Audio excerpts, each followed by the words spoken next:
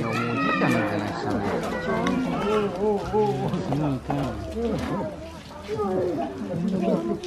痛い。若い。子あお尻意地悪してたな、経験してみたい。な。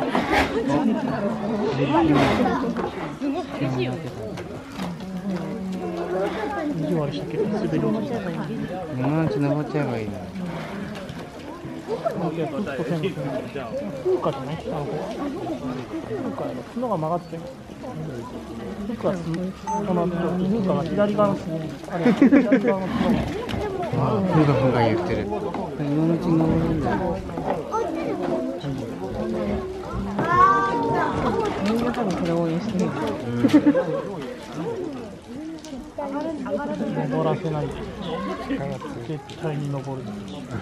志村みたいな志村に似て13歳の年年上の人にあんなプレーを話すとんでもないおばあちゃんと若い女の子なんかして